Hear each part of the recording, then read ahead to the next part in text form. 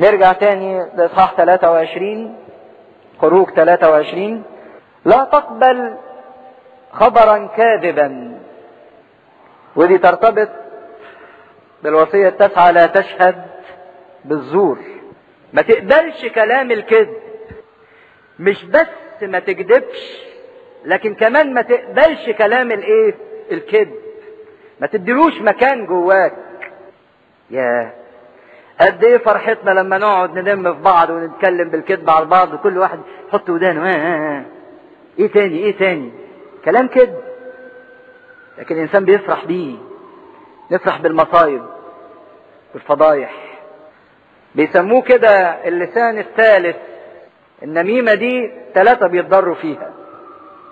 اللي بينم واللي بيتنم فيه واللي بيسمعوا ما بين الاثنين اللي بيسمعوا كلام النميمة.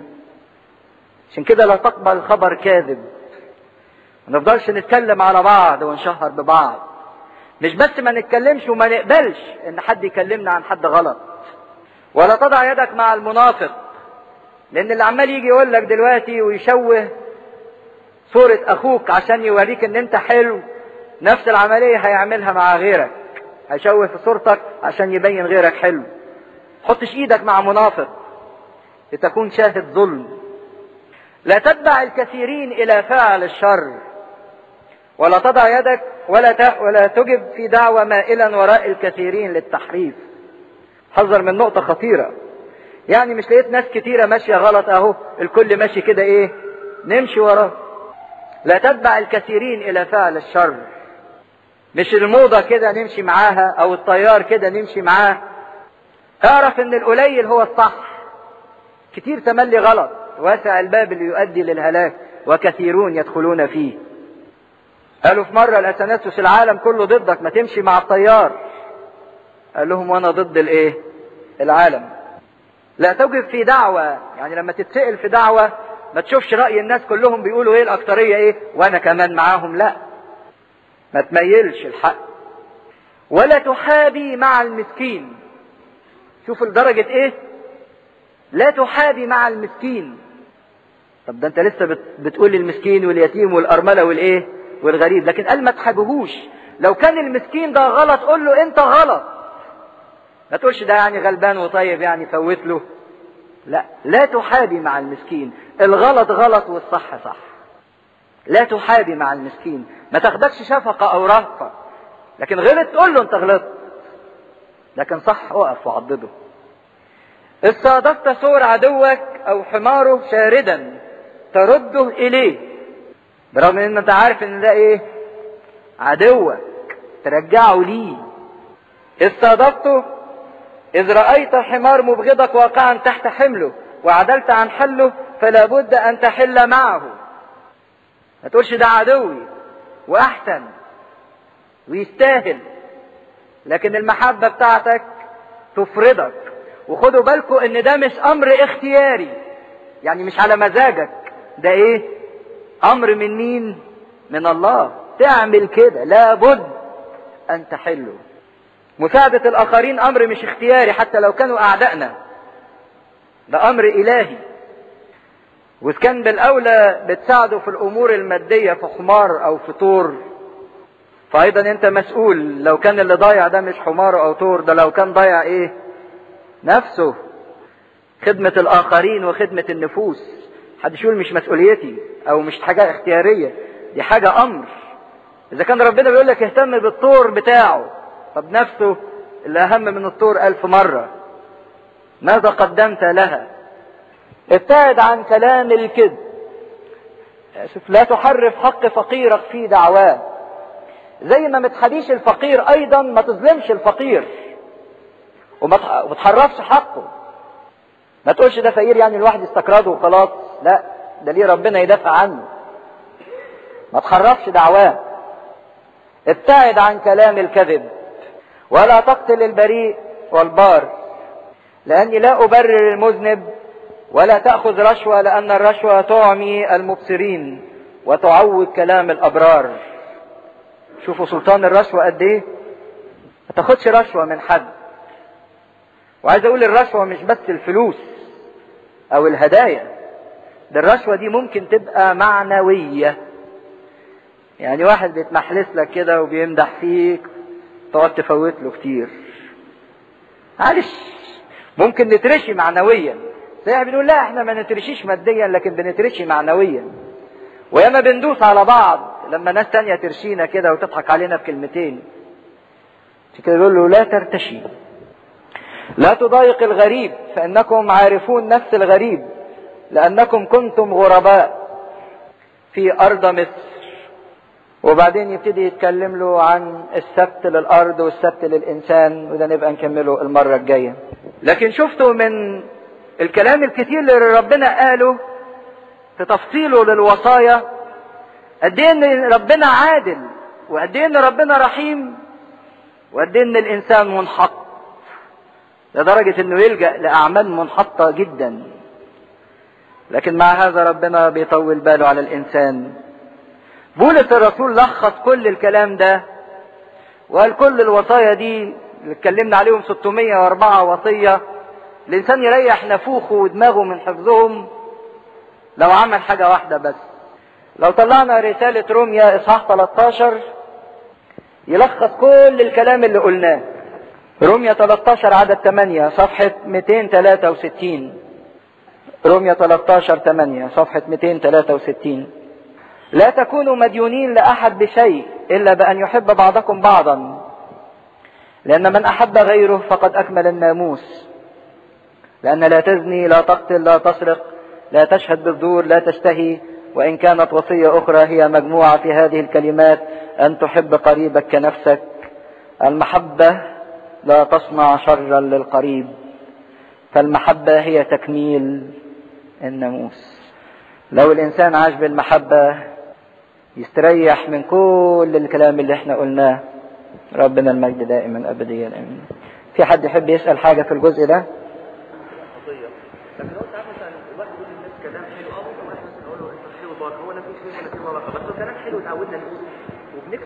كلام حلو بس طالما إن أنت ما بتقصدش من وراه إيه؟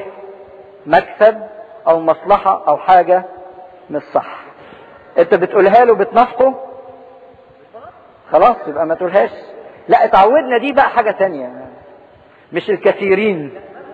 تعرف كده بتقول له ليه؟ خليك واضح معاه. اللي انت بتقصده ممكن تقول شجعوا صغار الايه؟ النفوس. بس بحكمة وبأمانة.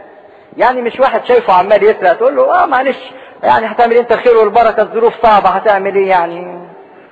في حد يحب يسأل حاجة تاني؟ اتفضل. استعد لي حصتك معلش.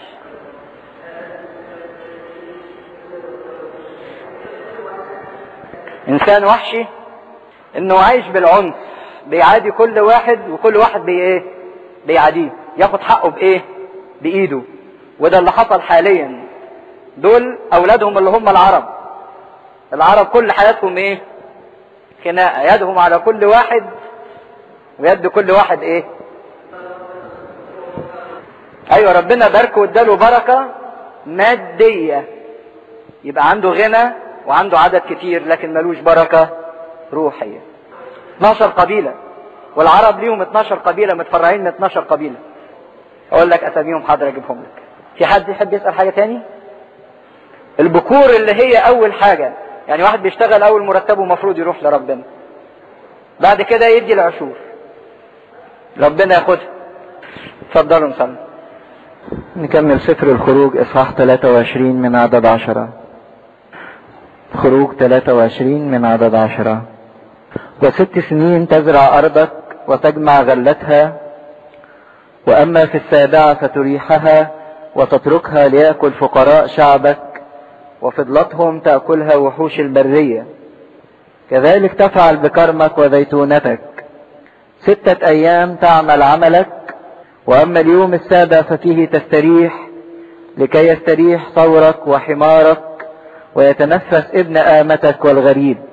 وكل ما قلت لكم احتفظوا به.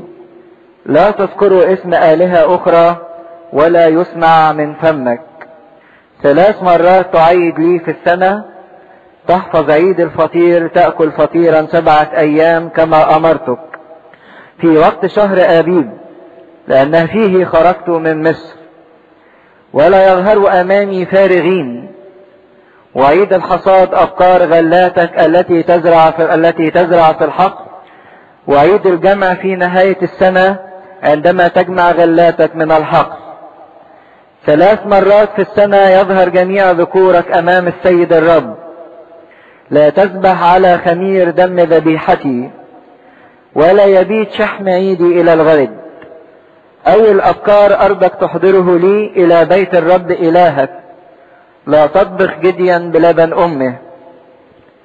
ها أنا مرسل أمامك ملاكا أمام وجهك ليحفظك في الطريق وليجيء بك إلى المكان الذي أعددته.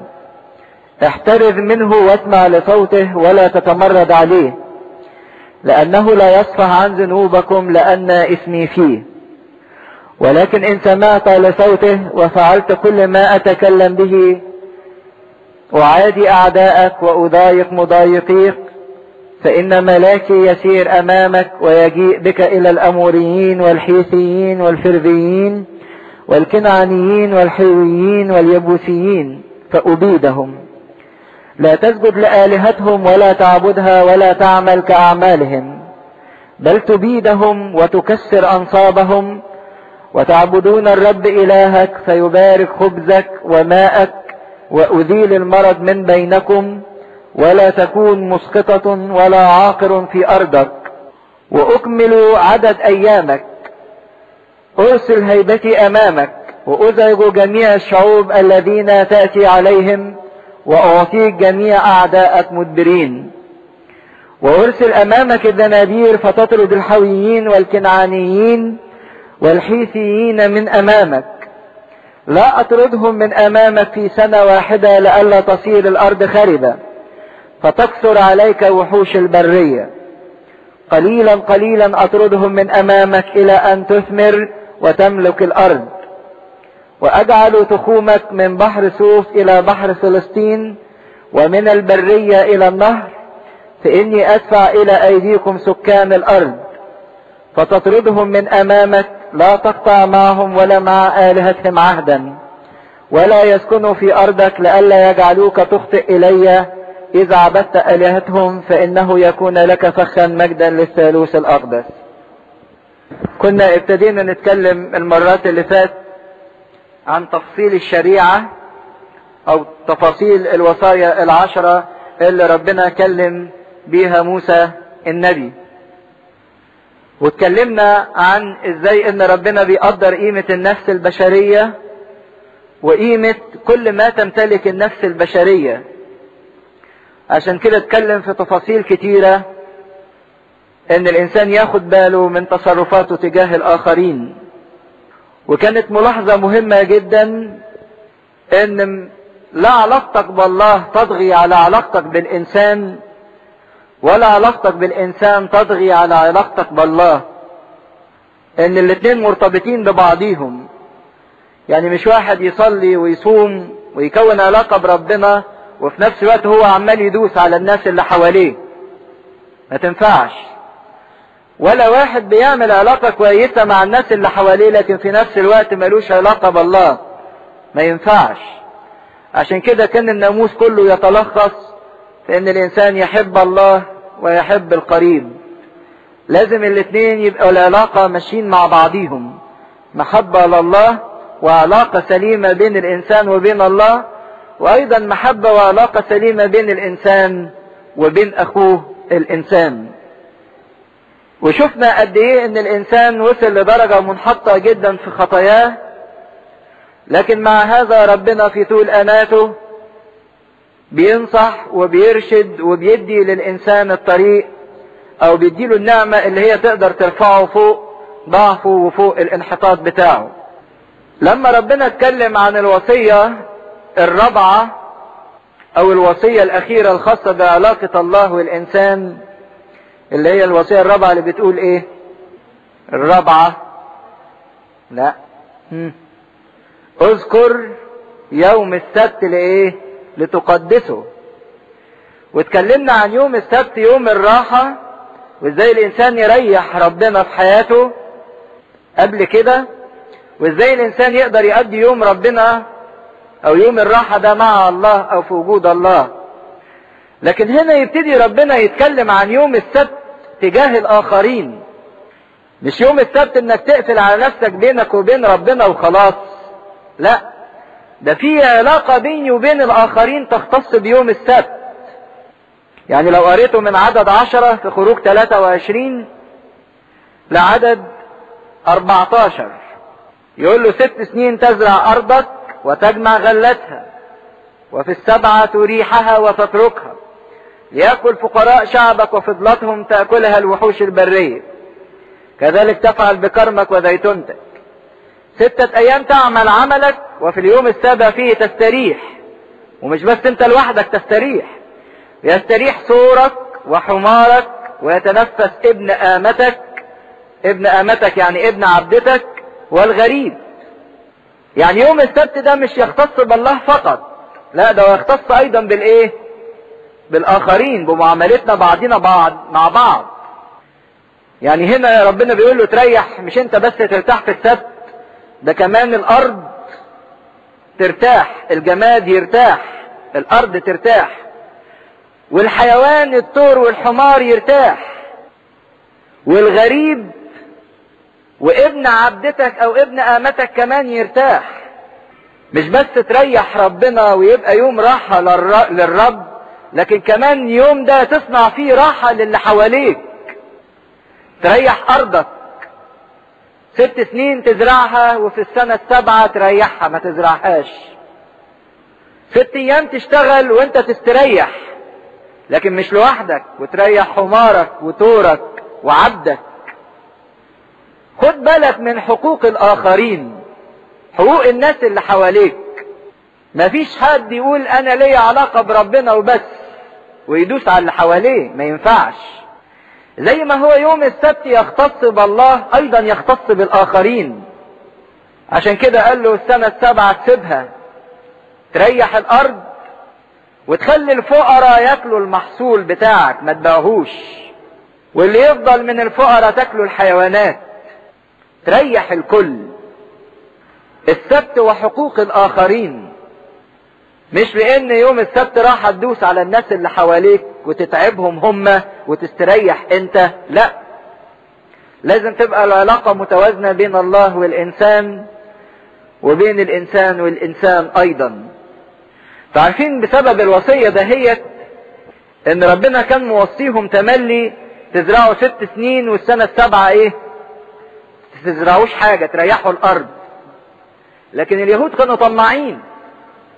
ما نفذوش الوصية دهيت فضلوا يزرعوا يزرعوا يزرعوا يزرعوا على طول. عارفين ربنا عمل فيهم إيه؟ تعالوا نطلع سفر أخبار أيام التاني كده. سفر أخبار أيام التاني اصحاح 36 صفحة 737 عدد 16 أخبار أيام التاني اصحاح 36 عدد 16 صفحة 737 فكانوا يهزؤون برسل الله ورذلوا كلامه وتهاونوا بانبيائه حتى صار غضب الرب على شعبه حتى لم يكن شفاء. فأصعد عليهم ملك الكلدانيين فقتل مختاريهم بالسيف في بيت مقدسهم ولم يشفق على فتى أو عذراء ولا على شيخ أو أشيب بل دفع الجميع ليده. وجميع آنية بيت الله الكبيرة والصغيرة وخزائن بيت الرب وخزائن الملك ورؤساء أتوا أتى بها جميعا إلى بابل. وأحرقوا بيت الله وهدموا سور أورشليم وأحرقوا جميع قصورها بالنار وأهلكوا جميع آنيتها الثمينة. وسبى الذين بقوا من السيف إلى بابل فكانوا له ولبنيه عبيدا إلى أن ملكت مملكة فارس. يعني شوفوا ربنا هنا عمل إيه؟ خرب كل حاجة في أورشليم. لا ولد ولا بنت ولا صغير ولا كبير حتى بيت الله وحتى الهيكل ربنا خربه. وحتى اسوار أورشليم حرقوها. دفع كله للدمار. كل ده ليه؟ يبان في الآية الجاية. لإكمال كلام الرب بفم ارميه حتى استوفت الأرض ثبوتها لأنها ثبتت ثبتت في كل أيام خرابها لأكمال سبعين سنة. يعني شوفوا ربنا سلم شعبه لسبي بابل ليه تستوفي الأرض إيه؟ ثبوتها. إيه تستوفي الأرض ثبوتها؟ هم ما كانوش بيدوا السنة السبعة السنة السبعة دي كانت تسمى إيه؟ سبت. كانت تسمى سبت. فهم أهملوا دي. قعدوا 490 سنة. يزرعوا الأرض ورا بعض ورا بعض ورا بعض. فراح ربنا مسلمهم للسبي لمدة إيه؟ ها؟ سبعين سنة. لإكمال سبعين سنة. لكي ما تستوفي الأرض إيه؟ ثبوتها أنتم مش عايزين تسمعوا الكلام وأنا قايل لكم وصية؟ تريحوا الأرض. طيب هي الأرض تصير خراب لمدة سبعين سنة. يعني شوفوا ربنا سلم شعب إسرائيل للسبي من أجل الوصية دهيت إن هم ما راعوش حقوق الغير حتى حقوق الجماد الأرض. مفروض السنة السابعة دي كانت سنة إبراء سنة راحة. هما ما اهتموش بالحتة دي. واحد مش مهتم بالحتة دي يعني مش مهتم إنه يريح لا ربنا ولا يريح الناس اللي حواليه. طيب الأرض بتاعتكم دي تتسلم للخراب لمدة سبعين إيه؟ سنة. ولو رجعنا لسفر ارمية إصحاح 25 لاقي ان ارمية قال لهم كده. ربنا بعت لهم إنذار خدوا بالكم إن أنتم ما بتعملوش السبت للأرض. ارمية 25 عدد 8 صفحة 1112 1112 لذلك هكذا أرمية 25 عدد 8 لذلك هكذا قال رب الجنود من أجل أنكم لم تسمعوا لصوتي. ها أنا أرسل فأخذ كل عشائر الشمال يقول الرب وإلى نبوخذ نصر عبدي ملك بابل ويأتي بهم على هذه الأرض وعلى كل سكانها وعلى كل هذه الشعوب حواليها. فأحرمهم وأجعلهم دهشا وصفيرا وخربا أبديا. أبيد منهم صوت الطرب وصوت الفرح صوت العريس وصوت العروس صوت الأرجيحة ونور السراج. وتصير كل هذه الأرض خرابا ودهشا وتخدم هذه الشعوب ملك بابل سبعين سنة. سبعين إيه؟ سنة. يعني أرمية من قبل السبي ينبههم. أنتوا ما بتنفذوش كلمة ربنا ما بتنفذوش الوصية. قال لكم ثبتوا الأرض. ست سنين تزرعها والسنة السبعة سبت عشان كده نفس الفترة ما بين استلام الوصية لغاية سبي بابل 490 سنة. 490 سنة دول يطلعوا فيهم كم سنة سبتية؟ 70 سنة. يعني كان المفروض 70 سنة. 70 مرة يبطلوا الزراعة. ما عملوش كده. فراح ربنا مسلم الأرض خراب لمدة 70 سنة. لكي ما تستوفي الأرض ثبوتها. ما بتديش حق غيرك؟ طب أنا هاخد حق غيرك منك. ده اللي ربنا عايز يقوله. ما بتديش حق غيرك أنا هاخد حق الأرض الجماد اللي مش قادرة تدافع عن نفسها. عشان كده تلاحظوا ملاحظة لطيفة إن دانيال النبي بعد ما اتسبى في بابل كان شاطر وقاري القراءات كويس. عرف التاريخ اللي لازم يرجعوا فيه من السبت. لو طلعنا سفر دانيال صح تسعة صفحة 1278 1278 دانيال تسعة عدد واحد. يقول في السنة الأولى لداريوس ابن أحشاويرش من نسل الماديين الذي ملك على مملكة الكلدانيين في السنة الأولى من ملكه أنا دانيال. فهمت من الكتب عدد السنين التي كانت عنها كلمة الرب إلى أرميا النبي لكماله سبعين سنة على خراب أورشليم. فوجهت وجهي إلى السيد الرب طالبا بالصلاة والتضرعات. دانيال حسب الحسبة كويس إنه من السنة اللي اتسابوا فيها. عد سبعين سنة وقال لهم السنة دي هنرجع. لازم نرجع لأورشليم لأن ربنا قال لنا هتسبوا لمدة إيه؟ سبعين سنة وفعلا في السنة دي أو في السنة اللي قال فيها دانيال صدر أمر من كورش إن شعب إسرائيل يرجع من بابل إلى أورشليم مرة تانية. نرجع تاني لخروج 23 عشان كده ربنا انتقم للأرض اللي الشعب ما ريحهاش. خد حقوق الآخرين. فقال له السبت مش بس علاقة بيني وبينك لا ده السبت أيضا تريح فيه الأرض وتريح فيه الحيوان وتريح فيه عبدك. تدي راحة للكل. مش تقول أنا ارتاح انا وربنا والباقي تعبان لا تدي راحة للكل. عشان كده المسيح لما كان بيعمل معجزات يوم السبت وجم قالوا له لا يحل الإبراء في يوم السبت. قال لهم ده أنا بريح إنسان كله بشفيه. إزاي ما يحلش؟ ادي الوصية بتقول إن السبت مش بس بينك وبين ربنا لا ده بينك وبين اللي حواليك حتى الجماد حتى الحيوان.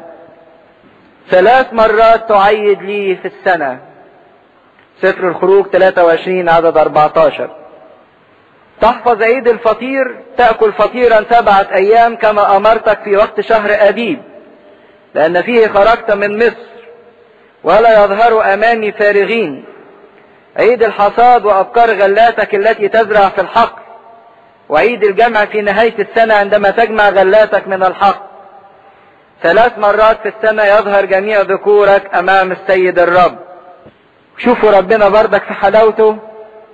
اهتم إنه يفرح الإنسان. يديله أيام مبهجة. يخليه يعيد يفرح. مش بس قاعد يديله في أوامر وفي وصايا. لكن يديله اداله إزاي يفرح؟ يعيد. فكان في ثلاث أعياد رئيسية. ثلاثة دول كل اليهود من كل مكان في العالم كانوا لازم يتجمعوا في أورشليم. عيد الفطير اللي كان بعد عيد الفصحى على طول. عيد الفصحى والفطير أول واحد.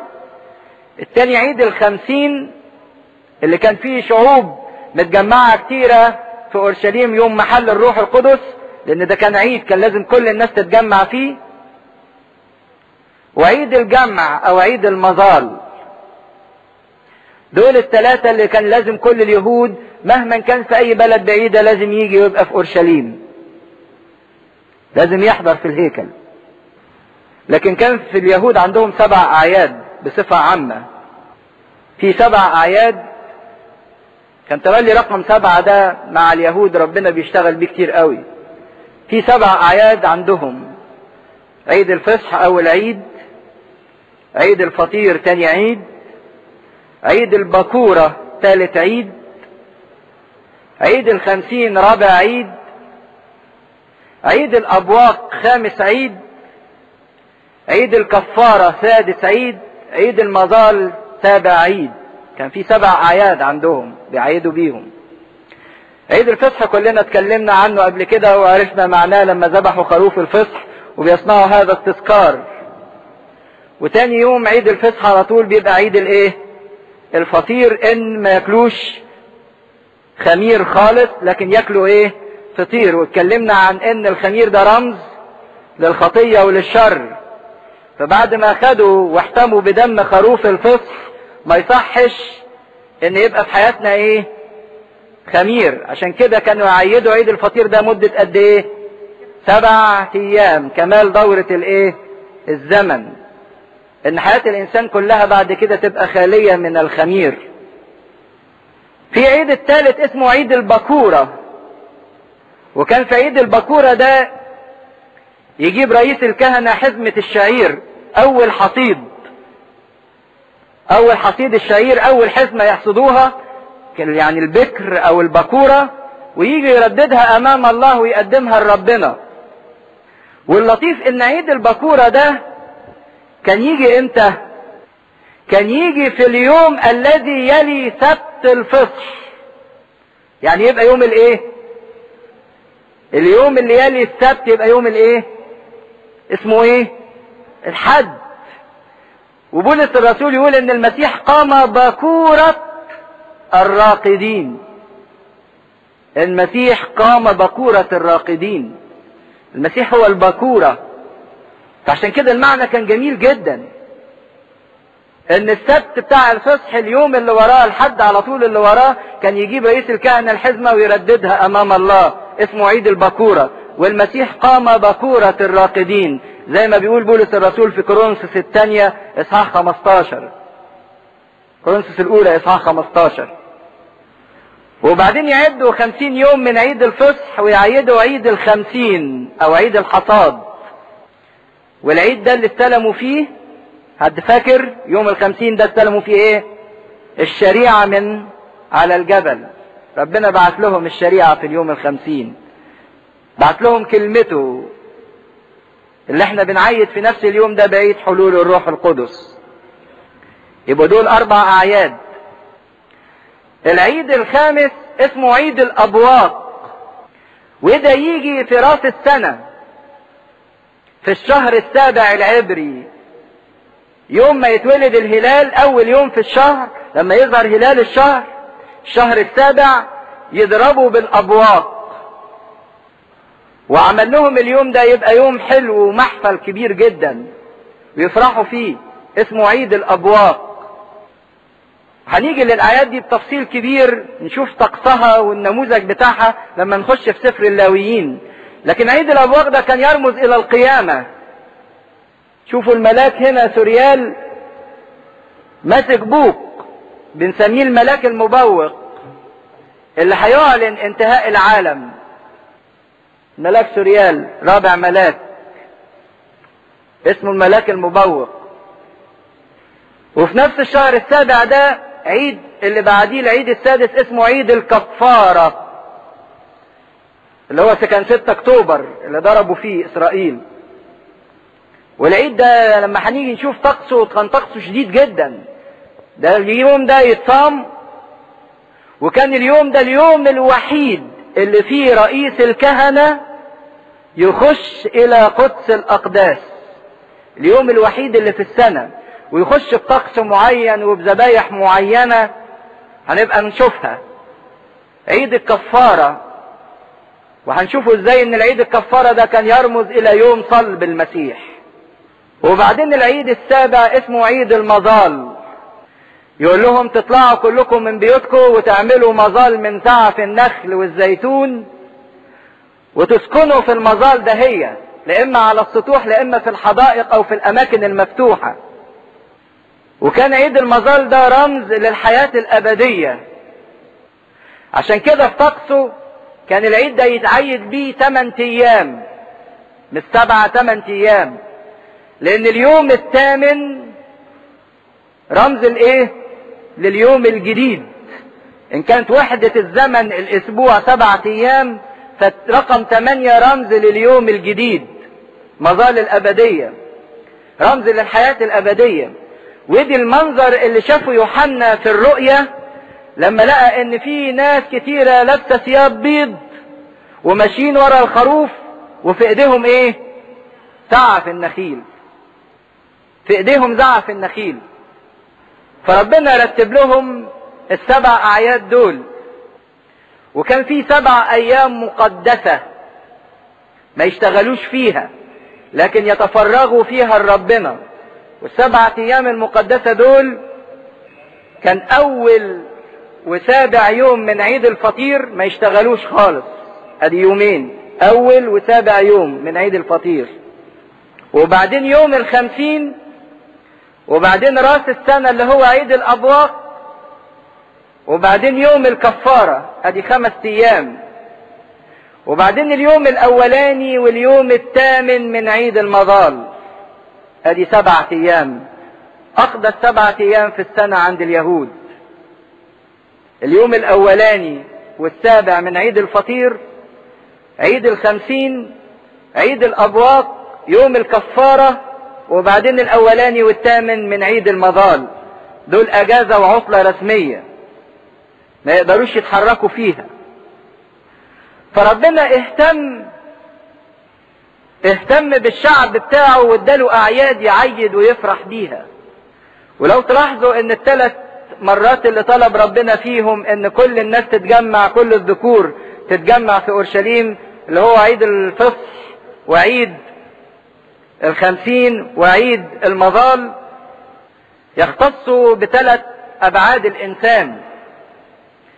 الفصح والفطير ده اتعمل وانتهى. يختص بالماضي. يختص بالماضي. عبرته وعدى عليكم الملاك المهلك وانتهى. يوم الخمسين يختص بالحاضر. معاك وصيتي دلوقتي. الكلمة اللي انت استلمتها مني في يوم الخمسين. ادي الحاضر بتاعك. وعيد المظال يختص بالمستقبل. مستقبلك مبهج ومفرح. عشان كده الثلاث أعياد اللي كان لازم يوجدوا فيهم في أورشليم يختصوا بابعاد الإنسان في حياته ماضيه وحاضره ومستقبله. عيد الفصح وعيد الفطير كانوا يجوا في الربيع باستمرار في شهر إبريل شهر نيسان. عيد الخمسين يجي في الصيف شهر يوليو شهر يونيو. وعيد المظال يجي في سبتمبر أو في أكتوبر في الخريف بداية الخريف. فدول الأيام اللي ربنا رتبها لشعبه علشان إن هو يفرح ويبتهج بيها. سبع أعياد وسبع أيام وهنرجع للأعياد دي بتفاصيلها لما نيجي ندرس في سفر اللاويين. لكن المهم ربنا طلب منهم طلب كده لما تيجوا تعيدوا تعملوا إيه؟ ها؟ نقرأ كده البراجراف من عدد 14 لعدد 20 طلب منهم ثلاث طلبات. لما تيجي تعيد تاخد بالك من ثلاث حاجات. مين يطلعهم؟ اتفضل. طب قول لي الآية. نطلع كده ثلاث آيات من هنا. ربنا حط لما تيجوا تعيدوا في ثلاث شروط. طب بصوا كده في عدد 14 ها. ولا يظهروا أمامي فارغين. أدي أول واحدة يعني ما يطلعوش قدامي ويجوا قدامي وإيديهم فاضية. أدي أول واحدة. تاني واحدة في عدد 18 لا تذبح على خمير دم ذبيحتي. واللي بعديها ولا يبيت شحم عيدي إلى الإيه؟ إلى الغد. لا ده مش في العيد ده بصفة عامة. يبقى في العيد في ثلاث شروط ربنا حطهم. لا تظهروا أمامي فارغين. ما تذبحش على خمير دم ذبيحتي وما تبيتش شحم عيدي إلى الغد. لو عايزين نفهم المعنى الحقيقي للأعياد اللي إحنا بنعيدها وايه اللي ربنا طالبه منا في العيد. أول حاجة لا تظهر أمام الله فارغا. ما تجيش وإيديك فاضية. طب أجيب إيه لربنا وأنا جاي يوم العيد؟ أجيب إيه؟ قال لهم كده ما تجوش ما يصحش وانتوا جايين من كل مكان في العالم وجايين في الهيكل في أورشليم وجايين في العيد بتاعي وايديكم فاضية. طب نجيب إيه يا رب؟ نجيب لك خرفان وعجول وتيوس ونذبح. ده المعنى الظاهر. نجيب لك شوية فضة وذهب ونحطهم في الهيكل. ده اللي فهموه.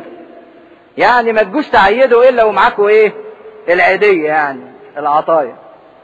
لكن تعالوا نطلع كده لسفر أشعية الاصحاح الأولاني ونشوف ربنا بيقول إيه عن العيد واللي هم بيجيبوه له في العيد.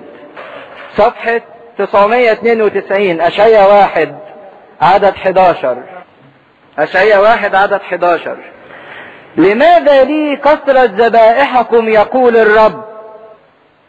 ادخمت من محرقات كباش وشحم مسمنات. وبدم عجول وخرفان وتيوس ما أصر. يعني ربنا بيقول لهم أنا جات لي تخمة من كتر الكباش اللي أنتوا إيه قدمتموها ليا. طب وانت زعلان ليه يا رب؟ يعني انت تزعل الناس تقدم لك حاجات كتيرة كده؟ تعالوا نشوف ليه زعلان. حينما تأتون لتظهروا أمامي من طلب هذا من أيديكم.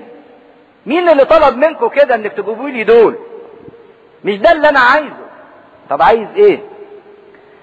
ان تدوسوا دوري لا تعونوا تأتون بتقدمة باطلة. البخور هو مكرهة لي. يا سلام يا رب يعني ناس بتقدم لك بخور والبخور ده ريحته حلوة. أنت بتقول البخور ده بقى مكرهة لي قرفت منه. رأس الشهر والسبت ونداء المحفل لست أطيق الإثم والاعتكاف. رؤوس شهوركم وأعيادكم بغضتها نفسي. كرهتها. طب دول كانوا بيجيبوا لك آلاف الذبايح وآلاف العطايا. كل ده كرهته. صارت علي ثقلا مللت حملها.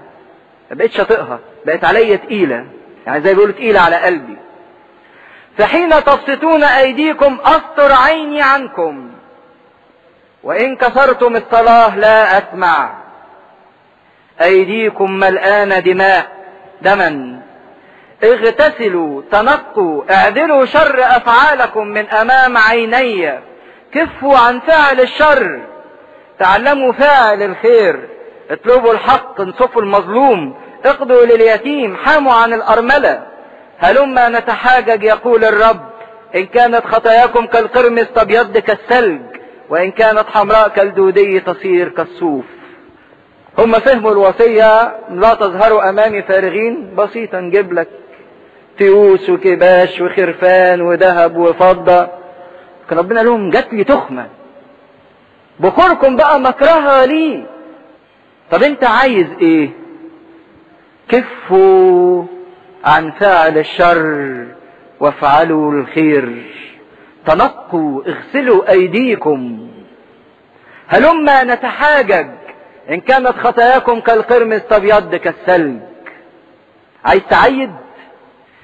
دفعت لربنا في العيد 200 300 جنيه وجبت لك بدلة وجيت متأيف واللي عمل شعره واللي حط برفان من نوع معين واللي واللي. وجاي الناس كده يعني جايين لربنا بمنظر حلو. ربنا يقول قرفت منكم. صارت أعيادكم علي ثقلا مللت حملها. طب ده منظرنا حلو يا رب وجايبين لك حاجات كتيرة. مش ده اللي أنا عايزه منكم. اللي أنا عايزه منكم إنكم تتنقوا تغتسلوا عايز تيجي تعيد مفيش معنى للعيد من غير توبة. من غير إنك تنضف. ده اللي ربنا عايزه. ما تجيش فارغ. ما تجيش فارغ. لكن تعالى مليان بالنعمة مش مليان بالهدوم وبالشياكة. ما تظهرش أمامي فارغا. ربنا يبص كده علينا ويشوف كل واحد والمظاهر واللي لابس واللي عامل واللي مسوي يقول كل الناس دي فارغين. مش ده اللي أنا عايزه. إحنا حولنا أعيادنا إلى شوية مظاهر. بقى كل واحد بيجي يفتخر. بالتفريحة وبالبدلة وباللي عامله واللي مسويه في العيد. وللأسف ربنا يبص علينا كده بهذا المنظر. كلكم فارغين. ربنا طالب في العيد إن الإنسان يتنقى. تعال نتحاجج. أنت فيك غطية أنا أغسلك أنضفك. نتطهر. تيجي وأنت مليان بعمل النعمة جواك. لكن ما تجيش بمظهر خارجي من بره لا تظهروا أمامي فارغين. افتكروا الآية دي في كل عيد إحنا بنعيده. وانت جاي كده افتكر انت جاي قدام ربنا فارغ ولا مليان؟ في واحد يقول أنا مش جاي فارغ ده أنا جايب واحد معايا. طب جايبه إزاي؟ ما هو ممكن بردك لا تظهروا فارغين هات لحد لربنا بس نجيبه لربنا صح. واحد بعيد قربه لربنا صح. مش تقول له تعالى اتفرج على المناظر وعلى الناس لابسة إيه وبتعمل إيه. تعالى ليلة العيد دي ليلة كده يعني حلوة كده. كل الناس بتقعد تضحك والآخر شياكة. تعالى اتفرج. ده انت ما جبتوش لربنا. انت ما جبتوش صح. انت جبته غلط. لكن مين اللي يجي الكنيسة وجايب واحد لربنا؟ مش يجي يتفرج على الناس. مين اللي يجي يحضر العيد وجايب مقدم إنسان لله؟ قد يكون الإنسان ده أي حد قريبي صاحبي صديقي لكن ما بنقدمش لربنا صح. بنفتكر إن إحنا يعني لما ندفع 20 30 ولا 200 ولا 1000 جنيه حتى خلاص عملنا اللي علينا. ما ظهرناش فارغين. لكن يقول لماذا لي كثرة الذبائح؟ بخوركم صارت لي مكرها. أعيادكم ثقلت علي مللت حملها. اليهود فهموا كده. يعني ما تجيش فارغ تجيب لك شوية حاجات وانت جاي. آه مطلوب إنك تقدم تعبير حب عن الله ولله. لكن أهم من العطية اللي انت بتقدمها وأهم من المظهر اللي انت بتيجي بيه إن يكون وراه الجوهر صح. إن انت تتنقى تغتسل تتطهر من الشر. عشان كده راح حاطط لهم الشرط الثاني ما تذبحوش دم ذبيحتي على خمير. انت بتقدم لربنا ذبيحة ما تحطهاش على خمير. خمير يعني إيه؟ شر على خطية. عشان كده قال لهم لا اطيق الإثم والإعتكاف. يعني الناس اعتكاف معيدين لربنا لكن في نفس الوقت عايشين في حياة الايه؟ الخطية. لا اطيق الإثم والإعتكاف. يجوا إزاي اتنين على بعض؟ عامل إنك بتعيد لربنا وجواك خطية؟ ما تجيش. عشان كده قال لهم ما تذبحوش ذبيحتي على خمير على خطية. ما تعملش إن ليك شكل إنك بتقدم صلاة وبتقدم ذبيحة وأنت بتقدمها على خمير على شر وعلى خطية. عشان كده قال لهم لا أعود أسمع صلواتكم حتى ولو أكثرتم. ده ناس بتصلي لك كتير يا رب أنت لاقي يعني في حد اليومين دول بيصلي كتير يقول حتى لو كانوا بيصلوا طول ال 24 ساعة. لكن مش هسمع لأن في خطية في خمير. عشان كده قال لهم لا يظهروا أمامي فارغين. وبعدين قال لهم ما تذبحش ذبيحتي على خمير. وبعدين تالت حاجة ولا يبيت شحم عيدي. يعني الأعياد دي إيه؟ بتاعتي إلى الغد. يعيش العيد في معناه. ما تأجلوش لبعدين. إن كان عيد القيامة ما تقولش نبقى نقوم بكرة لكن قوم في عيد القيامة. خد قوة قيامة. إن كان عيد ميلاد ما تقولش المسيح يتولد بكرة في حياتي ولا بعد سنتين ثلاثة لكن خد في نفس اللحظة اللي انت موجود فيها ميلاد المسيح جواك. كان عيد الغطاس. موت عن الخطية مدفونين معه في جرن المعمودية. ما تأجلش معنى العيد لبكرة أو لبعدين لكن عيش معنى العيد. طالما أنت جيت ودخلت عيش معنى العيد. لبن أمه. وكان الشعوب الكنعانيين عندهم اعتقاد كده يعني إنك لو جبت الجدي وطبخته وعملته باللبن بتاع أمه ورميت اللبن ده في الأرض الأرض دي تخصب. فربنا قال لهم دي قساوة. حتى مع الحيوان المذبوح. دي وحشية. إنك أخدت الجدي وذبحته من أمه وحرمت أمه منه وكمان بتاخد اللبن عشان تطبخ الجدي بيه. دي قساوة. مش هفرح بيها ومش هقبلها ذبيحة. تقول ما أنا اقدمها لك يا رب؟ لا ما قلتلكش كده. علاقتي أو علاقتك بيا ما تكونش على حساب علاقتك بالإيه؟ بالآخرين. زي ما في سبت ليا في سبت للآخرين أيضا.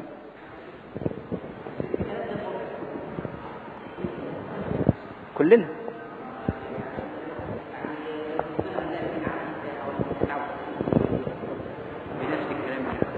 غلط مش صح.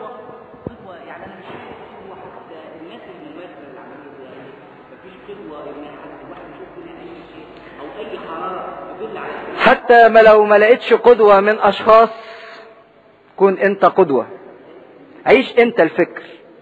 ما تبصش لغيرك لكن حاسب إيه؟ نفسك. جم في مرة قالوا للمسيح نفس الكلام على الكتبة والفارسيين قال لهم كل ما قالوه لكم افعلوه أما أعمالهم ما تعملوهاش. هم عندهم كلمة ربنا. خدوا الكلمة وانتوا عيشوا بيها. لكن مالكوش دعوة بإيه؟ بأعمالهم وتصرفاتهم. عشان كده مرميش على غيري ما اقولش إن كل غلط. كل غلط ابقى أنت الصح. كل غلط ابقى أنت الصح. ما تظهروش أمام الله في الأعياد فارغين. لئلا نسمع الكلمة فعلا كده ربنا يقولها لنا. وتخمت من كثرة الكذبائح أعيادكم صارت مكرها لي. يعني شوفوا الأيام اللي حتى ربنا حطها عشان يفرح بشعبه. الشعب قرف ربنا فيها. بس مش ظاهرين ولا واضحين قصادنا. يعني بن... يعني ناس إحنا مش شايفينهم ومش حاسين بيهم وإلا وإلا كان العالم ربنا حرقه. إن الرب لا يطيق الشر يفضل مالي العالم. كان حرقه في الحال يعني. فأكيد في ناس بس إحنا مش حاسين بيهم يعني. نكمل عدد عشرين. ها أنا مرسل ملاكا أمام وجهك ليحفظك في الطريق وليجيء بك إلى المكان الذي أعددته. احترز منه واسمع لصوته ولا تتمرد عليه. لأنه لا يصفح عن ذنوبكم لأن اسمي فيه. مين هو الملاك ده بقى؟ ها؟ شخص سيد المسيح. لأن اسمي فيه. يقول له يسير أمام وجهك. لما هنيجي في الصح 33 يقول كده إن لم يسر وجهك أمامنا لا تصعدنا منها هنا. كنتش هتمشي قدامنا أنت ما تصعدناش من هنا. وبعدين يقول له ده لا يصفح يعني عنده سلطان الحل والإيه؟ والمغفرة. فكان الملاك ده إشارة إلى ملاك العهد الجديد اللي هو شخص المسيح. قال له احترز واحرص على وجوده قدامك وأوعى تخليه يزعل منك ويسيبك. ولكن إن سمعت لصوته وفعلت كل ما أتكلم به اعادي اعدائك وأضايق مضايقيك. اللي يجي يضايقك ويعاديك أنا اعاديه كانه واقع علي هذا الاعتداء شخصيا. شوفوا ربنا بيوصل بالوصية لحد فين؟ إن الإنسان اللي يعيش الوصية ويقبل الوصية ويصدق الوصية ويعيشها وينفذها يتحد بالمسيح أو يتحد بالله. فيبقى كل دي واقع عليه كانه واقع على شخص الله. اعادي أعاديك. وأضايق مضايقيك. فإن ملاكي يسير أمامك ويجيء بك إلى الاموريين والحيثيين والفرديين والكنعانيين والحويين واليبوسيين فأبيدهم. ودول كل القبائل اللي كانت موجودة في منطقة فلسطين. لا تسجد لآلهتهم ولا تعبدها ولا تعمل كأعمالهم. ابتدى ينبهوا. انت هتخش في وسط الناس دول. اوعى تتطبع بطبائعهم. وتقول ما هو الكل بيعمل كده أعمل زيه. بل تبيدهم وتكسر أنصابهم. تموتهم كلهم. وتقطع كل الثواري وكل الأنصاب وكل التماثيل اللي عاملينها. وتعبدون الرب إلهك فيبارك خبزك وماءك وأذيل المرض من بينكم.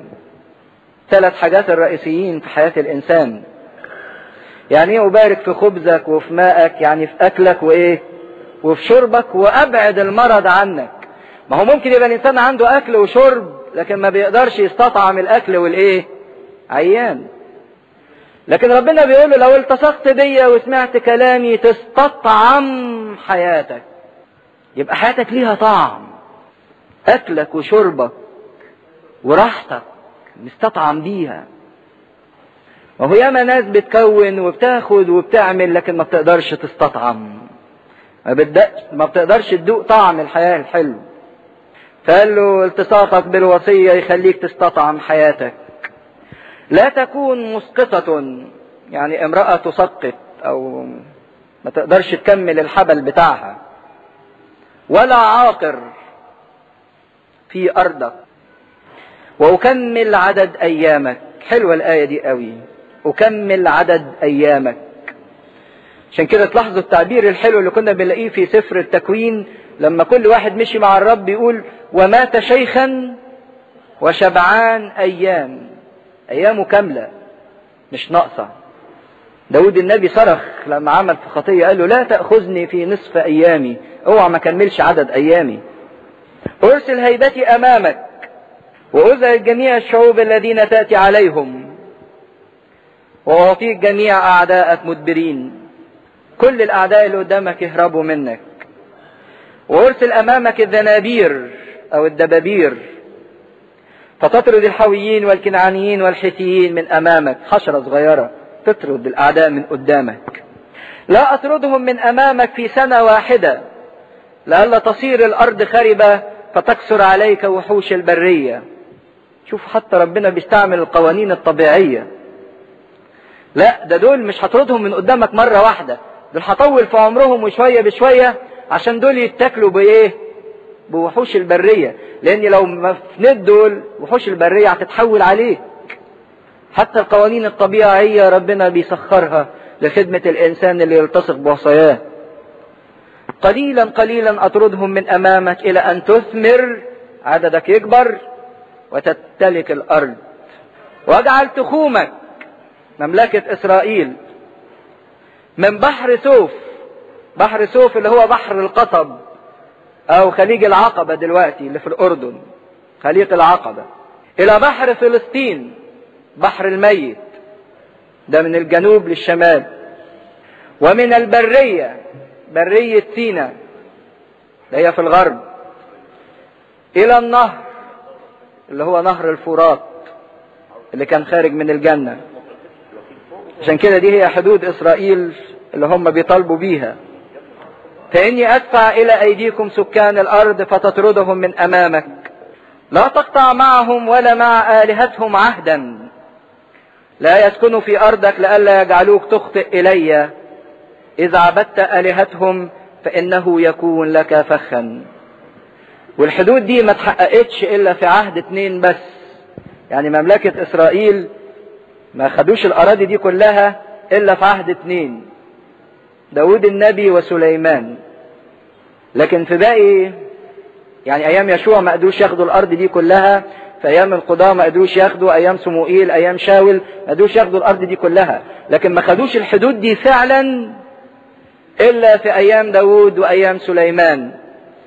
عشان كده إن كان في وعود كتيرة اتقالت للآباء لإبراهيم والاسحاق والموسى واليشوع.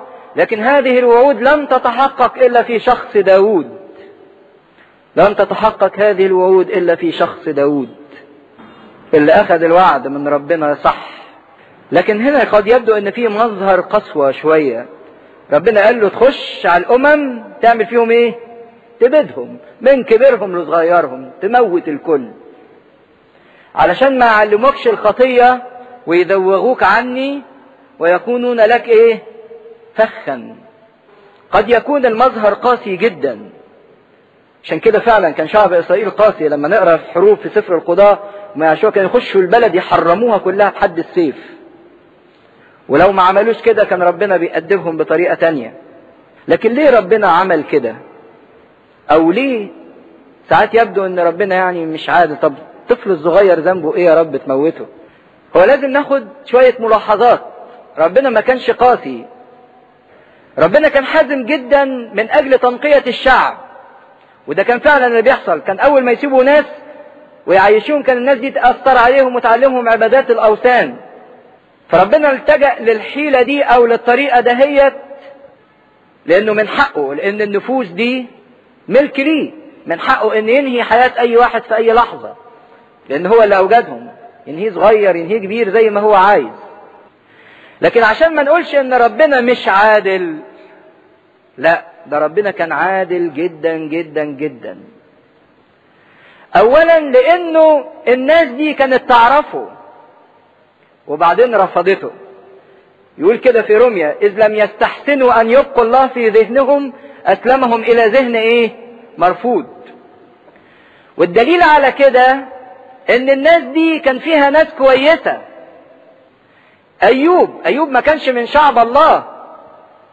ما كانش من شعب إسرائيل. ملكي صادق. ما كانش من شعب الله.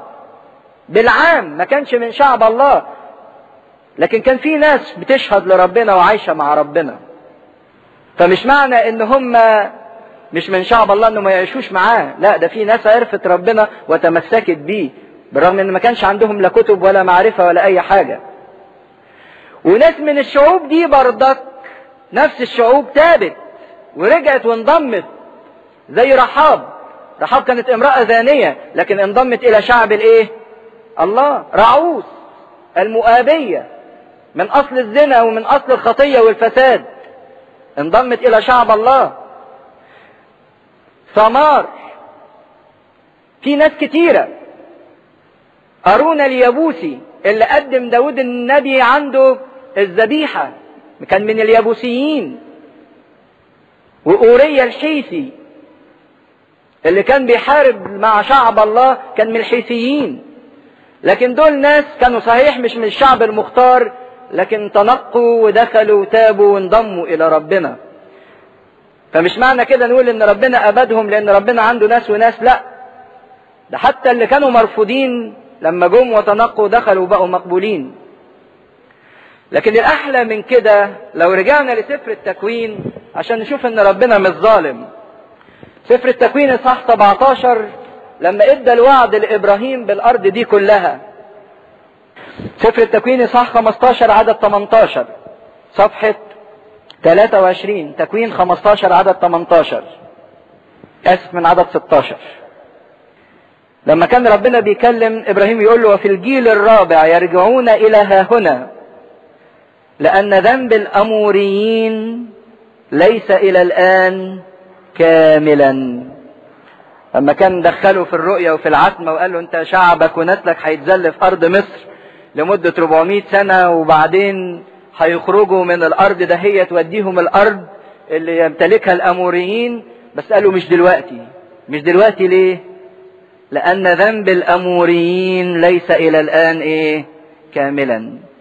يعني أنا مطول بالي عليهم بديهم فرصة إن هم إيه؟ يتوبوا. لكن بسبب علم الله عارف إن في لحظة لا يمكن يتوبوا بعد كده إن الذنب كمل. عشان كده هيطرد ويهلك كل الناس دهيت. فكانوا في قسوة في امتلاك الأرض. لأن ربنا بسبب علمه كان عارف إن الشعوب دي ما منهاش فايدة. وإن القلب وصل لحالة تقصي أو حالة تحجر مش هيتوبوا. عشان كده أبدهم. وبالرغم من كده الناس اللي كان فيها عندها استعداد إنها توب كان بياخدها ويضمها إلى شعبه. وبكده يبقى إحنا خلصنا الوصايا العشرة كلها بتفاصيلها. والوعد من ربنا إن اللي هيعيش بالوصية دهيت يستطعم حياته يتمتع بيها. أكتر من كده إن هو يصير في وحدة بينه وبين الله. وعادي اعدائك وأضايق مضايقيك. أنا وأنت نبقى واحد. ودي الطلبة اللي جه قالها المسيح ليكون الجميع واحد إيه؟ فينا كما أنا وأنت إيه؟ واحد.